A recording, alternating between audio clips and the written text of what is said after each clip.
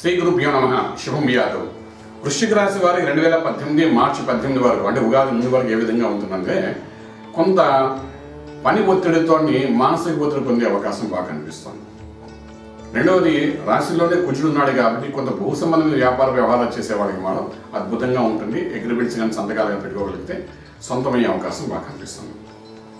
ఈ రాశి మీదకి ఎటువంటి పాపగ్రహ దృష్టి లేదు.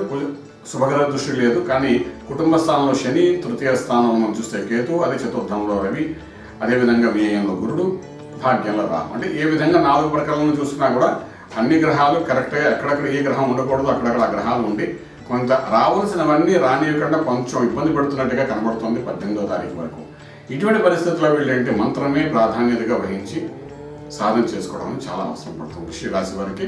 ఎందుకంటే ఇటువంటి పద్మవ్యూహం నుండి బయటపడాలి అంటే మంత్రం అని ప్రధానం. అంటే మంత్ర సాధన చేసేది ప్రాధాన్యత వహిస్తుందని చెప్తుంటా అనమాట అది చదువుకునే విద్యార్థులకే తీసుకోండి వ్యాపారస్తులకే తీసుకోండి ఫిలిం రంగంలో వాళ్ళు తీసుకోండి. తర్వాత వివాహం కోసం చేసే ప్రయత్నాలు పంతుల కోసం చేసే ప్రయత్నాలు శుభార్తలు వినడానికి ప్రయత్నం చేస్తారు. ఏదైనప్పటికీ ధ్యానము మంత్రము అంటే దైవ చింతన అన్నది ఈ రాశి వారికి పద్దెనిమిదో తారీఖు వారు చేసుకోవడం అంటే కొన్ని కొన్ని చిక్కుముడి బయటపడే అవకాశం ఉంటుంది. మంత్రాలను మించిన శక్తి ఇంకోటి లేదని ప్రూవ్ చేసుకోవడానికి వృషిక రాశి వారికి మంచి అవకాశం ఉంటుంది. ఒక కష్టం కనబడుతుంది ఆ కష్టాన్ని మంత్రం ద్వారా సాధన చేసి సులువుగా దాన్ని అధిగమించడం చేసే ప్రయత్నంలో సక్సెస్ఫుల్ అవుతారు కాబట్టి ఆ విధంగా కనబడుతుంది.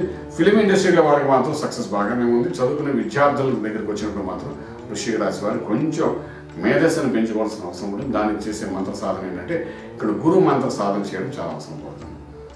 గురు మంత్రం అంటే ఏది గురువు ఎవరిని గురువుగా భావిస్తామో ఆ గణపతి అది గణపతి అది గణపతి.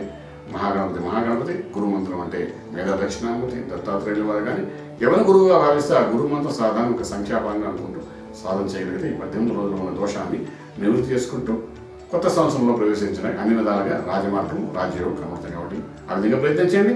చక్కటి ఫలితాలు వచ్చే అవకాశం చెప్పగలుగుతాం శుభం